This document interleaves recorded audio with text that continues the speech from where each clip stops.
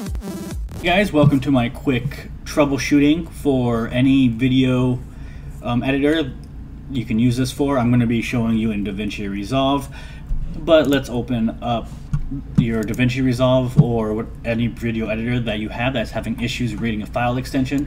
So for example, here's my intro. I'm going to try dragging and dropping it into my DaVinci Resolve media. As you can tell, nothing happens. So it's not recognizing that file extension. So in order to change it to a file extension that my video editor will recognize, what I'm going to do is download a program called Handbrake. So that's this program right here. This is a free program, so you don't have to worry about paying for it.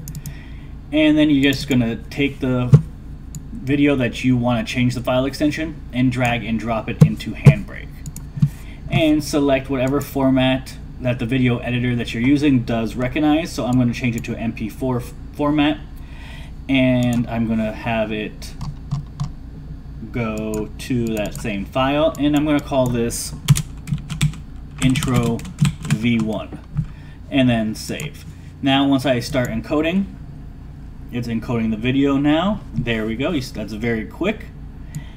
And then now I can just drag and drop the new video, intro v1, into my video editor. As you can tell, it went straight there, and it works without issues.